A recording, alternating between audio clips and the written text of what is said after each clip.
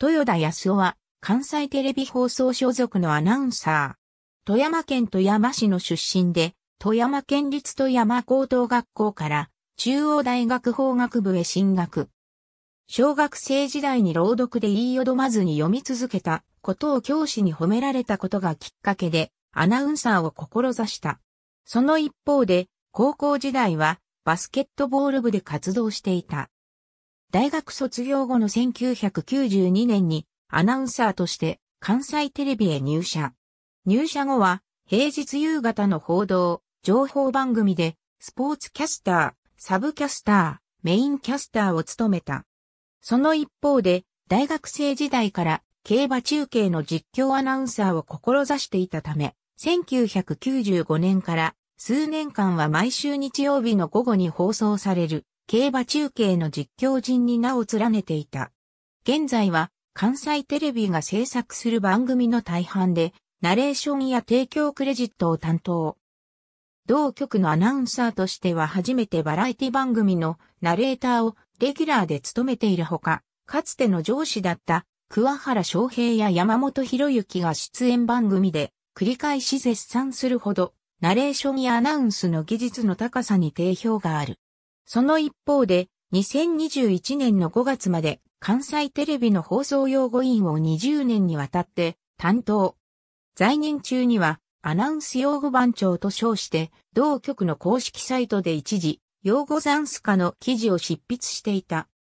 なお、勤務する関西テレビは、テレビ単営局だが、2021年3月30日の未明からラジオ大阪で毎週か、水曜日の未明に放送中のカンテラのパーソナリティ人にも名を連ねている。血液型は B 型で、趣味はサイクリングエレキギタープロ野球カードの収集。小学生時代のニックネームは、おじさんだった。スーパーマンのおじさんみたいと友人に言われるほど、飛び箱が得意だったことによる。関西テレビへの入社後も、自宅から本社まで自転車で通勤することもあるという。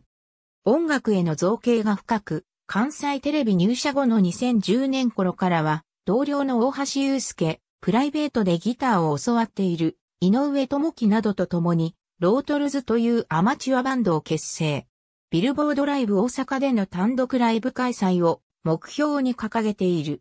また、中古レコードの救済と称して、洋楽やフォークソングの知る人ぞ知る名盤を大量に購入、所蔵。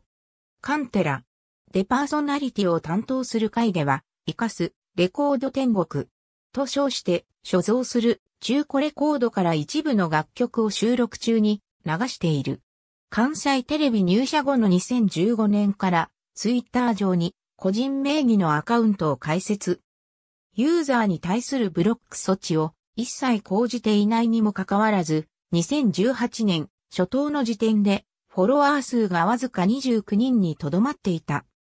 しかし、2018年2月25日の深夜25時26時30分に関西ローカルで放送された関西テレビ開局60周年記念番組アナウンサー物語24時で豊田と全く面識のないクリス・ガルシアがフォロワーになっていることを公表。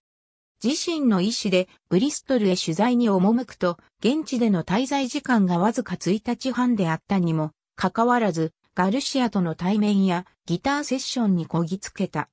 さらに番組開始から1時間余りでフォロワー数がおよそ10倍にまで増加した。ちなみにガルシアがトヨタのアカウントのフォローを始めた理由はトヨタが公表しているプロフィールやツイートから音楽の趣味が似ていると感じたことによるという。ありがとうございます。